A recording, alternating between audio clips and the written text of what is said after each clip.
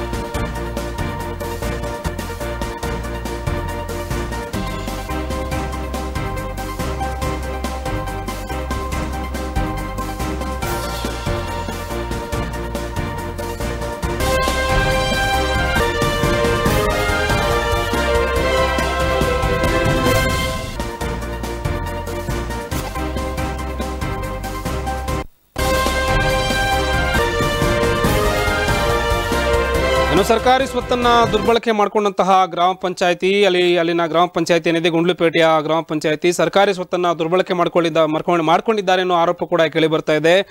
ಸ್ವಚ್ಛ ವಾಹಿನಿ, ವಾಹನ ಏನಿದೆ, ಇದನ್ನ ಅನಧಿಕೃತವಾಗಿ ಅಲ್ಲಿನ ಗ್ರಾಮ ಪಂಚಾಯತಿ ಬಳಕೆ ಮಾಡ್ಕೊಳ್ತಿದ್ದಾರಂತೆ. ಸೊ ಈ ಈ ಒಂದು ಆರೋಪ ಅಲ್ಲಿ ಕೇಳಿ ಬರ್ತಾ ಇದೆ. ಕೂತನೂರು ಗ್ರಾಮ ಪಂಚಾಯತಿಯ ಸ್ವಚ್ಛ ವಾಹಿನಿ ವಾಹನವನ್ನ ದುರ್ಬಳಕೆ ಮಾಡ್ಕೊಂಡಿದ್ದಾರೆ ಅಲ್ಲಿನ ಗ್ರಾಮ ಪಂಚಾಯತಿ ಅವರು ಗುಂಡ್ಲುಪೇಟೆ ತಾಲೂಕಿನ ಈ ಕೂತನೂರು ಗ್ರಾಮ ಪಂಚಾಯಿತಿ ಏನಿದೆ, ಇವರು ಮುಸ್ಕಿನ ಜೋಳವನ್ನು ಸಾಗಿಸಲು ಸ್ವಚ್ಛ ವಾಹಿನಿ ವಾಹನವನ್ನು ಬಳಸ್ಕೊಳ್ತಾ ಇದ್ದಾರೆ. ದೃಶ್ಯಗಳ ಸಮೇತ, ಸಾಕ್ಷಿ ಸಮೇತ ಇವತ್ತು ನಾವು ನಿಮಗೆ ತೋರಿಸ್ತಾ ಇದ್ದೀವಿ. ನೋಡ್ತಾ ಇರ್ಬೋದು, ಗಮನಿಸ್ಬೋದು. ಇದು ಕಸವನ್ನು ತೆಗೆದುಕೊಂಡೋಕೆ ಬರಲಿವಂತಹ, ಬ, ಬರುವಂತಹ ಇದು ವಾಹನ ಇದು. ಸೊ ಈ ವಾಹನವನ್ನು ಇವರು ಅಲ್ಲಿ ಏನಿದೆ, ಅವರ ಒಂದು ಬೇರೆ ವಿಚಾರ, ವಿಚಾರಗಳಿಗೆ ಬಳಸ್ಕೊಳ್ತಾ ಇದ್ದಾರೆ. ನೋಡಿ, ಮುಸ್ಕಿನ ಜೋಳಗಳನ್ನು ಯಾವ ರೀತಿ ತುಂಬಿಕೊಂಡಿದ್ದಾರೆ, ತುಂಬ್ಕೊಂಡು ತೊಗೊಂಡು ಹೋಗ್ತಾ ಇದ್ದಾರೆ. ಅವ್ರ ಪರ್ಸ್ನಲ್ ಕೆಲಸಗಳಿಗೆ ಹೆಂಗೋ ಇದೆಯಲ್ಲ, ಉಪಯೋಗಿಸ್ಕೊಳ್ಳೋಣ ಬಿಡಿ, ಯಾರು ಕೇಳ್ತಾರೆ ಅನ್ನೋ ಮನಸ್ಥಿತಿ ಇರ್ಬೋದು. ಕೂತನೂರು ಗ್ರಾಮ ಪಂಚಾಯತಿ ಕಾರ್ಯಾಲಯ ನೋಡ್ತಾ ಇದ್ದೀರಾ. ಸೊ ಇವರು ಅಲ್ಲಿನ ಸ್ವಚ್ಛ ವಾಹಿನಿ ವಾಹನವನ್ನು ಅನಧಿಕೃತವಾಗಿ ಬಳಕೆ ಮಾಡ್ಕೊಳ್ತಾ ಇದ್ದಾರೆ. ಸಾಕ್ಷಿ ಸಮೇತ ಇವತ್ತು ನಾವು ನಿಮಗೆ ತೋರಿಸ್ತಾ ಇದ್ದೀವಿ. ಘನತ್ಯಾಜ್ಯ ಘಟಕ ನಿರ್ಮಾಣದ ಬಳಿಕ ಬಳಸಬೇಕಿದ್ದಂತಹ ವಾಹನ ಇದು. ಇವರು ಟೆಸ್ಟ್ ಡ್ರೈವ್ ಮಾಡ್ತಾ ಇರ್ಬೋದು ಮೋಸ್ಟ್ಲಿ ಇದನ್ನು. ಸರಿಯಾಗಿ ಹೋಗುತ್ತೋ ಇಲ್ವೋ, ಸರಿಯಾಗಿ ಇದೆಲ್ಲ ಕಸವನ್ನು ತೆಗೆದುಕೊಂಡು ಹೋಗುತ್ತೋ ಇಲ್ವೋ ಅನ್ನೋ ರೀತಿಯಲ್ಲಿ ಮೋಸ್ಟ್ಲಿ ಆ ಕಾರಣಕ್ಕೋಸ್ಕರ ಟೆಸ್ಟ್ ಡ್ರೈವ್ ಮಾಡ್ತಾ ಇರ್ಬೋದು ಇವರು. ಘನತ್ಯಾಜ್ಯ ವಿಲೇವಾರಿ ಘಟಕವೇ ಇನ್ನೂ ನಿರ್ಮಾಣವಾಗಿಲ್ವಂತೆ ಆಲ್ರೆಡಿ ವೆಹಿಕಲ್ಸ್ನ ತರಿಸ್ಕೊಂಡಿದ್ದಾರೆ. ಪಿ ಡಿ ಒ ಅವರ ಅನುಮತಿ ಇರದೆ ವಾಹನವನ್ನು ಬಳಕೆ ಮಾಡಲಾಗ್ತಾ ಇದೆಯೇ? ಈ ಪ್ರಶ್ನೆಯಲ್ಲಿ ಕಾಡ್ತಾ ಇದೆ. ಇನ್ನು ಸರ್ಕಾರದ ಸ್ವತ್ತನ್ನು ಬಳಸಿಕೊಳ್ಳಲು ಇವರಿಗೆ ಯಾರಪ್ಪ ಅಧಿಕಾರ ಕೊಟ್ಟಿದ್ದು ಹಾಗಾದ್ರೆ? ಸರ್ಕಾರಿ ಸ್ವತ್ತನ್ನ ಬಳಸ್ಕೊಳ್ಳೋದಕ್ಕೆ ಯಾರು ಇವ್ರಿಗೆ ಅಧಿಕಾರವನ್ನು ಕೊಟ್ಟರು ಇವೆಲ್ಲ ಪ್ರಶ್ನೆಯಲ್ಲಿ ಕಾಡ್ತಾ ಇದೆ. ಒಣ ಕಸ ಹಸಿ ಕಸ ಇವೆಲ್ಲವನ್ನು ಕೂಡ ವಿಂಗಡೆ ವಿಂಗಡಣೆ ಮಾಡಿಕೊಂಡು ಸ್ಥಳಾಂತರಿಸಲು ಈ ವಾಹನವನ್ನು ಬಳಸಬೇಕಾಗಿತ್ತು. ಆದರೆ ಇವರು, ನಡ್ರಿ ಒಂದು ಸ್ವಲ್ಪ ದಿನ ಮುಸ್ಕಿನ ಜೋಳವನ್ನು ನಾವು ಬಳಸ್ತೀವಿ. ಅದರಲ್ಲಿ ಒಣಗಿರೋ ಮುಸ್ಕಿನ ಜೋಳ, ಸ್ವಲ್ಪ ಎಳೆ ಮುಸ್ಕಿನ ಜೋಳ, ಸ್ವಲ್ಪ ಬಸ್ತಿ, ಬಲ್ತಿರುವಂತಹ ಮುಸ್ಕಿನ ಜೋಳವನ್ನು ತಗೊಂಡು ಹೋಗ್ತೀವಿ ಆಮೇಲೆ ನಿಮಗೆ ಕೊಡ್ತೀವಿ. ಅಧಿಕಾರಿಗಳು ಯಾರು ನಮ್ಮನ್ನೇನು ಕೇಳಲ್ಲ, ಎಲ್ಲ ನಮ್ಮವರೇ ಅನ್ನೋ ಮನಸ್ಥಿತಿನಲ್ಲೇನೋ ಇದ್ದಾರಂತೆ. ಬಟ್ ಗೊತ್ತಿಲ್ಲ. ಆದರೆ ಆ ಒಂದು ಸುದ್ದಿಯನ್ನು, ವಿಡಿಯೋವನ್ನು ಮಾಡಬೇಕಾದ್ರೆ ಮಾತ್ರ ಅಲ್ಲಿರುವಂತಹ ಏನು ಮುಸ್ಕಿನ್ ಜೋಳಗಳೇನಿದೆ ಅವನ್ನ ತೆಗೆದು ಕೆಳಗಡೆ ಹಾಕೋ ಒಂದು ನಾಟಕ ಮಾಡ್ತಿದ್ರು. ಅಷ್ಟು ಪರಿಜ್ಞಾನ ಬೇಡ. ಸುರ್ಕಲ್ಲಿ ನಿಲ್ಸ ರೂಲ್ಸೇ ಇಲ್ಲ.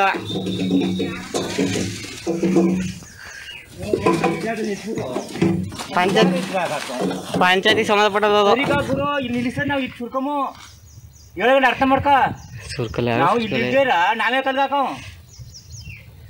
ನಮಗೆ ತಿರುಗಾಡಕ ಅದು ಜಾಗನೇ ಇಲ್ಲ. ತಗೊಂಡು ನೀನು ನಿಲ್ಸ್ಕೊಂಡೆ ಮೇಲೆ.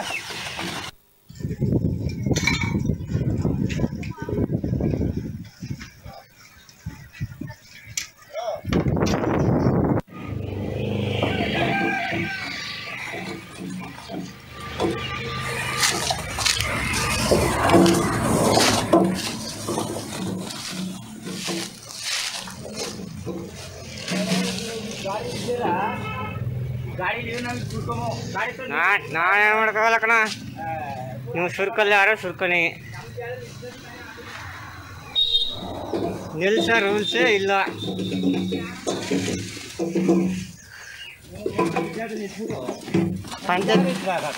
ಪಂಚಾಯತಿ ಸಂಬಂಧಪಟ್ಟದ ಸಂಬಂಧಪಟ್ಟದ್ದು ಗುರು ಇಲ್ಲಿ ನಿಲ್ಲಿಸ ನಾವು ಇದು ಸುರ್ಕಮು. ಹೇಳೋದು ಅರ್ಥ ಮಾಡ್ಕ. ಸುರ್ಕಲ್ಲ ನಾವು ಇಲ್ಲಿ ನಾವೇ ಕಲ್ದಾಕ ನಮಗೆ ತಿರುಗಾಡಕ ಅದು ಜಾಗನೇ ಇಲ್ಲ. ತಗೊಂಡು ನಿಲ್ಸ್ಕೊಂಡ ಮೇಲೆ.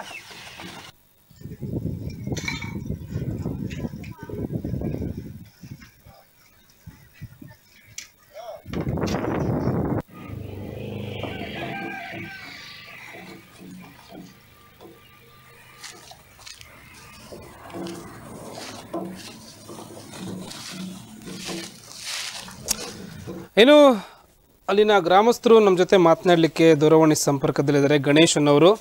ಸೊ ನಾವು ಮಾತನಾಡ್ಸೋಣ. ಸರ್ ನಮಸ್ತೆ. ನಮಸ್ತೆ ಸರ್ ನಾವು ಕರ್ನಾಟಕ ಕಾರ್ಮಿಕ ರಕ್ಷಣಾ ವೇದಿಕೆ ತಾಲೂಕು ಅಧ್ಯಕ್ಷರು ಓಕೆ ಫೈನ್. ಈಗ ಎಷ್ಟು ದಿನಗಳಿಂದ ಈ ಒಂದು ವೆಹಿಕಲ್ನ ಬಳಸ್ಕೊಳ್ತಾ ಇದ್ದಾರೆ ಹಾಗಾದ್ರೆ ಅಲ್ಲಿ? ಸರ್ ನಮ್ಗೆ ಮುಸ್ಕನ್ ಜೋಳ ಕಂಡಿದ್ದೀನಿ ಸರ್ ಅವಾಗ ಪ್ರತ್ಯಕ್ಷ ನೋಡದೆ ಹೋಗಿ. ಹ್ಮ್. ಗಾಡಿ ತಂದು ಸುಮಾರು ದಿನ ಆಗಿದೆ ಸರ್ ಬಂದು ವೆಹಿಕಲ್ ಅದು.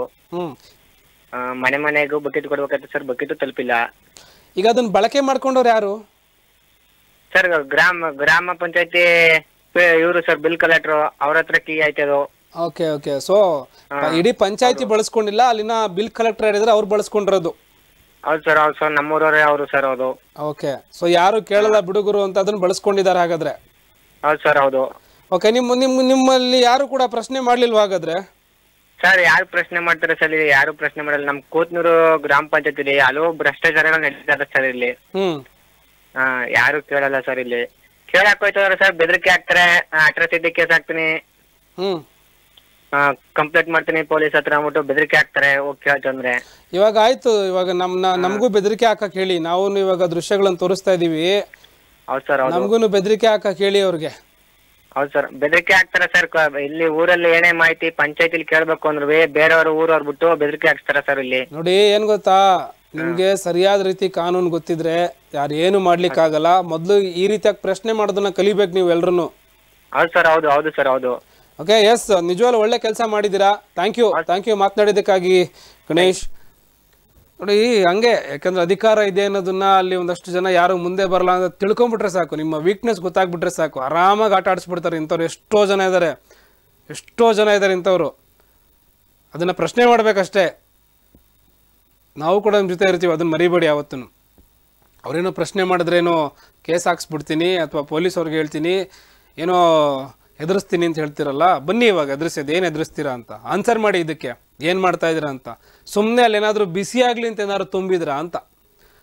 ಆ ಗಾಡಿ ಒಳಗಡೆ ಬಿಸಿ ಆಗಲಿ, ಜೋಳ ಎಲ್ಲ ಬಿಸಿ ಆಗಲಿ, ಆಮೇಲೆ ಎಲ್ರಿಗೂ ಮಾರ್ಕೊಂಬಂದ್ಬಿಡ ಅಂತ ತುಂಬಿದ್ರ. ಮಾಡೋಕ್ಕೆ ಕೆಲಸ ಇಲ್ಲದೆ ಕೆಲಸ ಮಾಡಿದ್ರ. ನಾಚಿಕೆ ಆಗ್ಬೇಕು ನಿಮಗೆ ಸಿಕ್ಕಿರೋವಂಥ ಅಧಿಕಾರನ ಹಿಂಗೆ ಬಳಸ್ಕೊಳ್ಳೋದಕ್ಕೆ. ದಬ್ಬಾಳಿಕೆ ಮಾಡ್ಕೊಂಡು ಎಷ್ಟು ದಿನ ಇರ್ತೀರಾ ಹಿಂಗೆಲ್ಲ? ದಬ್ಬಾಳಿಕೆಗಳು ಮಾಡಿಕೊಂಡು. ಅಧಿಕಾರ ಇದೆ ಅಂತ ಮಾತ್ರಕ್ಕೆ ನಿಮ್ಮೆಲ್ಲವನ್ನು ಮಾಡಲಿಕ್ಕೆ ನಿಮ್ಗೆ ರೈಟ್ಸ್ ಇರಲ್ಲ. ನಿಮ್ಮ ಲಿಮಿಟ್ಸ್ ಏನಿರುತ್ತೋ ಅಷ್ಟನ್ನೇ ಇರಬೇಕಾಗುತ್ತೆ. ಅದನ್ನು ಕ್ರಾಸ್ ಮಾಡಿ ಯಾರು ಏನು ಮಾಡ್ಲಿಕ್ಕೆ ಆಗಲ್ಲ ಅದನ್ನು ಅರ್ಥಕೊಂಡಿರಬೇಕು ನೀವೇ ನೋಡ್ತಾ ಇದ್ರ ದೃಶ್ಯದಲ್ಲಿ ಅವರು ಅದೇ ವೆಹಿಕಲ್ಗೆ ತುಂಬಿರುವಂತಹದೇ ನಾವೇನು ಗ್ರಾಫಿಕ್ಸ್ ಮಾಡಿ ಏನೋ ಮಾಡಿ ಹಾಕಿಲ್ಲಪ್ಪ. ಅಲ್ಲಿರುವಂತಹ ಮನುಷ್ಯ ಯಾರಿದ್ದಾರೆ? ಆತನೇ ತೆಗೆದು ಇವಾಗ ಕೆಳಗಡೆ ಆಗ್ತಾ ಇದ್ದಾನೆ. ತುಂಬಿರೋ ವೆಹಿಕಲ್ಗೆ ಇರೋದನ್ನ ತೆಗೆದು ಕೆಳಗಡೆ ಆಗ್ತಾ ಇದ್ದಾರೆ. ಮಾಡ್ಕೊಳ್ಳಿ. ಬೇರೆ ನಿಮ್ಮ ಪರ್ಸ್ನಲಾಗಿ ಏನೋ ತಂದು ಮಾಡ್ಕೊಳ್ಳಿ. ಅದನ್ನು ಸರ್ಕಾರದ ಸ್ವತ್ತಾನೆ ಅದು. ಎಲ್ರಿಗೂ ಸೇರಿದ್ದು. ಕೊಡಿ ಹಂಗಾರೆ. ಎಲ್ರ ಮನೆ ಕೊಡಿ. ದಿನ ಕೊಡಿ ಎಲ್ಲರೂ ತುಂಬ್ಕೊಂಡು ಆಡಲಿ ಅದನ್ನೇ ಒಂದು ಆಟೋ ಥರ ಕನ್ವರ್ಟ್ ಮಾಡ್ಕೊಂಡು ಎಲ್ಲರೂ ಅಲ್ಲಿ ಟ್ರಿಪ್ ಹೊಡ್ಕೊಂಡ್ಬಿಡಿ ಹೋಗಿ ಅದರಲ್ಲಿ.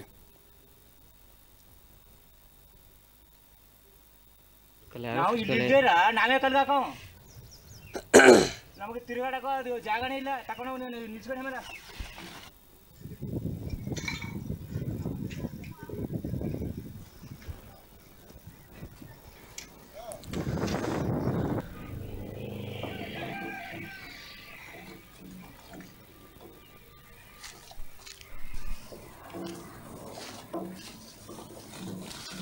ಇನ್ನು ಅಲ್ಲಿನ ಮಹಾನುಭಾವ ಅಂತ ಏನು ಕರೆಸ್ಕೊಳ್ತಾರೆ ಪಿ ಡಿ ಒ ಸಾಹೇಬರು, ನಾವು ಕೂಡ ದೂರವಾಣಿ ಸಂಪರ್ಕ ಮಾಡಲಿಕ್ಕೆ ಪ್ರಯತ್ನ ಮಾಡ್ತಾ ಇದ್ದೀವಿ ಆದರೆ ಅವರು ಕಾಲ್ ಪಿಕ್ ಮಾಡ್ತಾ ಇಲ್ಲ. ಪಾಪ ಬ್ಯುಸಿ ಇರಬೇಕು ಮೋಸ್ಟ್ ಇನ್ನೂ ಒಂದು ಎರಡು ಮೂರು ವೆಹಿಕಲ್ ತರಿಸ್ಕೊಂಡು ಅದ್ರೊಳಗೆ ತುಂಬ್ತಾ ಇರಬೇಕೇನೋ.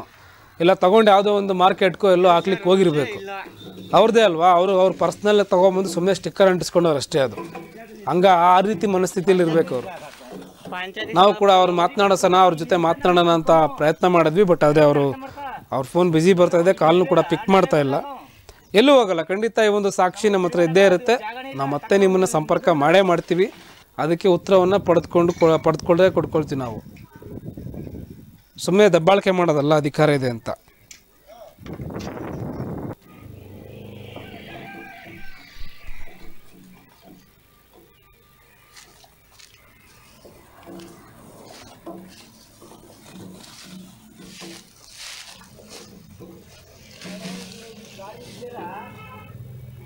ನಾ ನಾವೇನು ಮಾಡೋಕ್ಕಾಗಲ್ಲ ಕಣ. ನೀವು ಸುರ್ಕಲ್ಲಿ ಯಾರೋ ಸುರ್ಕೊನಿ ನಿಲ್ಸ ರೂಲ್ಸೇ ಇಲ್ಲ.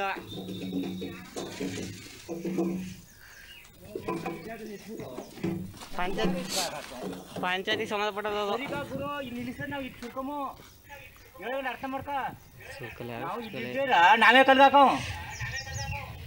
ನಮಗೆ ತಿರುಗಾಡಕ ಅದು ಜಾಗನೇ ಇಲ್ಲ. ತಕೊಂಡು ನೀವು ನಿಲ್ಸ್ಕೊಂಡು ಮೇಲೆ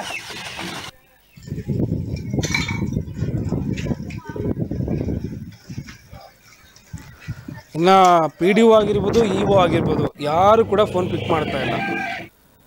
ಇದ್ರ ಬಗ್ಗೆ ಹೆಚ್ಚಿನ ಮಾಹಿತಿ ಕೊಡಲಿಕ್ಕೆ ನಮ್ಮ ಪ್ರತಿನಿಧಿ ದೂರವಾಣಿ ಸಂಪರ್ಕದಿದ್ದಾರೆ ಶಿವಕುಮಾರ್ ಈಗ ನೋಡಿ ಎಷ್ಟು ದಿನಗಳಿಂದ ಇದೇ ಕೆಲಸ ಮಾಡ್ಕೊಂಡ್ ಬರ್ತಾ ಇದ್ದಾರೆ ಹಾಗಾದ್ರೆ ಇವರು? ಯಶರಾಜ್ ಈಗ ಗುಂಡುಪೇಟೆ ತಾಲೂಕಿನ ಈ ಕೂತನೂರು ಗ್ರಾಮ ಪಂಚಾಯತಿ ಒಂದಲ್ಲ ಒಂದು ಒಂದು ವಿಚಾರಗಳಲ್ಲಿ ಸುದ್ದಿಯಲ್ಲಿ ಸದಾ ಸುದ್ದಿಯಲ್ಲೇ ಇರುತ್ತೆ. ಯಾಕಂದ್ರೆ ಗ್ರಾಮದ ಮೂಲಭೂತ ಸೌಕರ್ಯ ಇರ್ಬೋದು. ಅದನ್ನ ಹೊರತುಪಡಿಸಿ ಈಗ ಒಂದೇ ಜನ ಮುಂದೆ ಹೋಗಿದ್ರೆ ಯಾಕಂದ್ರೆ ಸರ್ಕಾರದ ಏನು ಸೊತ್ತಿದೆ ಇದನ್ನ ಇವರು ಸ್ವಂತಿಕೆಗೆ ಬಳಕೆ ಮಾಡ್ಕೊಂಡಿದ್ರೆ ಹೆಸರಾಜ್ ಯಾಕಂದ್ರೆ ಈಗ ನೋಡಿ ಆ ಗಣತ್ಯಾಜ್ಯ ವಿಲೇವಾರಿ ಘಟಕವನ್ನ ನಿರ್ಮಾಣ ಮಾಡಿದ್ಮೇಲೆ ಒಂದು ಸ್ವತ್ತ ವಾಹಿನಿ ಅಂತ ಗ್ರಾಮ ಪಂಚಾಯತಿಗೆ ಕೊಟ್ಟಿದ್ದಾರೆ. ಆ ಸ್ವತ್ತ ವಾಹಿನಿಯನ್ನ ಒಣ ಕಸ ಮತ್ತು ಹಸಿ ಕಸ ಅಂತ ಬೇರ್ಪಡಿಸಿ ಅದನ್ನ ಆ ಘನತ್ಯಾಜ್ಯ ವಿಲೇವಾರಿ ಘಟಕಕ್ಕೆ ಸ್ಥಳಾಂತರ ಮಾಡ್ಲಿಕ್ಕೆ ಉಪಯೋಗಿಸಿ ಅಂತ ಒಂದು ಜಿಲ್ಲಾ ಪಂಚಾಯತ್ ವತಿಯಿಂದ ಒಂದು ವಾಹನವನ್ನ ನೀಡಿದ್ದಾರೆ. ಆದ್ರೆ ಇಲ್ಲಿ ಘನತ್ಯಾಜ್ಯ ಘಟಕವನ್ನ ನಾವು ಸ್ಥಾಪನೆ ಮಾಡಿಲ್ಲ ಅನ್ನೋ ಒಂದು ಉದ್ದೇಶವನ್ನ ಇಟ್ಕೊಂಡು ಇವರು ತಮ್ಮ ಸ್ವಂತ ಬಳಕೆಗೆ ಬಳಕೆ ಮಾಡ್ಕೊತಾ ಇದ್ರು. ಈಗ ವಿಜುವಲ್ಸ್ ಅಲ್ಲಿ ನಾವು ನೋಡ್ಬೋದು ವಿಶ್ವರಾಜ್ ಈಗ ಅಲ್ಲಿ ಏನು ಒಕ್ಕಣೆಗೆ ಇವರು ಜಮೀನಿಂದ ಮುಸ್ಕಿನ ಜೋಳವನ್ನ ತುಂಬಿಕೊಂಡು ಬಂದು ಇಲ್ಲಿ ತಮ್ಮ ಮನೆ ಹತ್ರ ಅದನ್ನ ಸ್ಟಾಕ್ ಮಾಡ್ಕೊಳ್ತಾ ಇದ್ರ ಹ್ಮ್. ಅಲ್ಲ ಈಗೇನೋ ಅವ್ರನ್ನ ಪ್ರಶ್ನೆ ಮಾಡಿದ್ರೆ ಏನೋ ನಾನು ಕೇಸ್ ಹಾಕ್ಬಿಡ್ತೀನಿ ಪೊಲೀಸ್ ಅವ್ರಿಗೆ ಹೇಳ್ಬಿಡ್ತೀನಿ ಎದುರಿಸ್ಬಿಡ್ತೀನಿ ಹಂಗ್ ಮಾಡ್ತೀನಿ ಹಿಂಗ್ ಮಾಡ್ತೀನಿ ಅಂತ ಹೇಳ್ತಾರಂತೆ. ಈಗ ಏನಾಗಿದೆ ಅಂದ್ರೆ ಕೂತನೂರು ಗ್ರಾಮ ಪಂಚಾಯತಿಯಲ್ಲಿ ಯಾರಾದ್ರೂ ಅಲ್ಲಿ ಪಂಚಾಯತ್ ಆಡಳಿತ ವಿರುದ್ಧವಾಗಿ ಏನಾದ್ರು ಪ್ರಶ್ನೆಯನ್ನ ಮಾಡ್ಲಿಕ್ಕೆ ಹೋದ್ರೆ ನಾವು ನಿಮ್ ವಿರುದ್ಧ ನಮ್ಮ ಸರ್ಕಾರಿ ಕೆಲಸಕ್ಕೆ ನಾವು ಅಡ್ಡಿಪಡಿಸ್ತೀವಿ ಅಂತೇಳಿ ನಿಮ್ಮ ಮೇಲೆ ನಾವು ಮೊಕದ್ದಮೆಯನ್ನ ದಾಖಲು ಮಾಡ್ತೀವಿ. ಹಾಗೆ ಹೀಗೆ ಅಂತೇಳಿ ಅವ್ರಿಗೆ ಒಂದು ಬೆದರಿಕೆಯನ್ನ ಆಗ್ತಾ ಇದ್ರೆ ಅಂತ ಅಲ್ಲಿ ಗ್ರಾಮಸ್ಥರು ಕೆಲ ಗ್ರಾಮಸ್ಥರು ಆರೋಪ ಮಾಡ್ತಾರೆ. ಈಗ ಅಲ್ಲಿ ಗಣೇಶ್ ಅಂತ ಒಬ್ರು ಮಾತಾಡಿದವ್ರು ಹೇಳಿದ್ರು ನಮ್ಮ ಮೇಲೆ ಅಟ್ರಾಸಿಟಿ ಕೇಸ್ ಮಾಡ್ತೀವಿ, ಮತ್ತೆ ನಮ್ಗೆ ಕೇಸನ್ನ ಈಗ ನಿಮ್ಗೆ ದಾವೆ, ಠಾಣೆಯಲ್ಲಿ ದಾವೆಯನ್ನು ಹೊಡ್ತೀವಿ ಅಂತ ಹೇಳಿ ಬೆದರಿಕೆ ಹಾಕಿ, ಯಾಕಂದ್ರೆ ಇಲ್ಲಿ ಕುಗ್ಸುವಂತ ಪ್ರಯತ್ನ ನಡೀತಾ ಇದೆ ಅಂತಾನೆ ಹೇಳ್ಬೋದಾಗಿದೆ ಸೊ ಯಾಕಂದ್ರೆ ಪ್ರಶ್ನೆಯನ್ನ ಮಾಡಿದ್ರೆ ಪಂಚಾಯತಿಲಿ ನಡೀತಿರೋಂತ ಅಕ್ರಮಗಳು ಹೊರಗ್ ಬರ್ತವನ್ನ ಒಂದು ಭಯದಿಂದ ಇವ್ರು ಈ ರೀತಿಯಾಗಿ ವರ್ತನೆ ಮಾಡ್ತಿದ್ದಾರೆ ಅಂತ ಒಂದು ಮಾಹಿತಿ ಲಭ್ಯ ಆಗ್ತಾ ಇದೆ, ಸರ್. ಸೊ ಹಾಗಾದ್ರೆ ಯಾರು ಕೇಳೋರು, ಹೇಳೋರು, ಕೇಳೋರು ಯಾರು ಇಲ್ಲ ಹಾಗಾದ್ರೆ ಅಲ್ಲಿ? ಈಗ ನಾವು ಸಾಕಷ್ಟು ಈಗ ಸುಮಾರು ಗ್ರಾಮ ಪಂಚಾಯತ್ ವಿಚಾರಗಳ ಅಕ್ರಮಗಳನ್ನ ನಾವು ಬಯಲಿಗಿಳದಂತ ಸಂದರ್ಭದಲ್ಲಿ ಇವು ಅವರು ನಮ್ಮ ವಾಹಿನಿ ಜೊತೆಯನ್ನು ಮಾತಾಡಿದರೆ ಈ ರೀತಿಯಾದ ಘಟನೆಗಳು ನಡೆದ್ರೆ ನಾವು ಕ್ರಮವನ್ನ ಕೈಗೊಳ್ತೀವಿ ಅಂತ ಒಂದು ಆರಿಕೆ ಉತ್ತರವನ್ನ ಹೇಳ್ತಾರೆ ಹೊರತು ಇಒ ಶ್ರೀಕಂಠರಾಜ ಅರಸ್ ಅವರು. ತಾಲೂಕಿನಲ್ಲಿ ಏನೇನು ಪಂಚಾಯತಿಯಲ್ಲಿ ಅವ್ಯವಹಾರ ನಡುತ್ತೆ ಅದರ ಬಗ್ಗೆ ತಲೆ ಕೆಡ್ಸ್ಕೊಳ್ಳುವಂತ ಗೋಜಿಗೆ ಹೋಗ್ತಾ ಇಲ್ಲ ಈಗ ಅವ್ರು ಯಾರಿದ್ದಾರೆ? ಇವ ಯಾರಿದ್ದಾರೆ? ಶ್ರೀಕಂಠರಾಜೆ ಅರಸ್ ಅಂತ ಯಾರಿದ್ದಾರೆ? ಅಂತಹ ಒಂದು ಒಳ್ಳೆ ಹೆಸರನ್ನ ಇಟ್ಕೊಂಡು ಯಾರಿದ್ದಾರೆ? ಅವರಿಗೆ ಹೋಗಿ ದೃಶ್ಯಗಳನ್ನ ತೋರಿಸಿ ಸುದ್ದಿ ಆಗಿರೋದನ್ನ ತೋರಿಸಿ ಇದ್ರ ಮೇಲೂ ಎಚ್ಚೆತ್ಕೊಳ್ಳಿಲ್ಲ ಅಂತಂದ್ರೆ ನಿಜಕ್ಕೂ ಆ ಕೆಲಸಕ್ಕೆ ಅವರು ಅರ್ಹರೇ ಅಲ್ಲ. ನಿಜಕ್ಕೂ ಅರ್ಹರೇ ಅಲ್ಲ. ಯಾಕೆಂದರೆ ಅಂತ ಒಂದು ಒಳ್ಳೆ ಪೊಸಿಷನಲ್ಲಿ ಇರ್ತಾರೆ ಅಂತಂದಾಗ ಜವಾಬ್ದಾರಿಯಿಂದ ನಡ್ಕೊಳ್ಬೇಕಾಗುತ್ತೆ. ಇವಾಗ ಸಾಕ್ಷಿ ಎಲ್ಲ ಇದೆಯಲ್ಲ, ಅದನ್ನ ತಗೊಂಡೋಗಿ ಅವರಿಗೆ ತೋರಿಸಿ ಅದ್ರ ಬಗ್ಗೆನೂ ಕೂಡ ಮತ್ತೊಮ್ಮೆ ಸುದ್ದಿ ಮಾಡೋಣ. ಧನ್ಯವಾದಗಳು ಮಾತನಾಡಿದ್ದಕ್ಕಾಗಿ ಶಿವಕುಮಾರ್. ಎಸ್ ನೋಡೋಣ, ಮುಂದಿನ ದಿನಗಳಲ್ಲಿ ಏನಾದರೂ ಇದ್ರ ಬಗ್ಗೆ ಸರಿ ಹೋಗುತ್ತಾ, ಅಥವಾ ಇದನ್ನೇ ಮುಂದುವರ್ಸ್ಕೊಂಡು ಹೋಗ್ತಾರಾ, ಗೊತ್ತಿಲ್ಲ. ನೋಡೋಣ.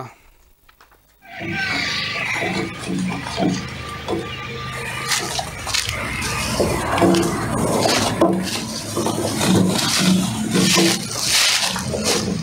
you.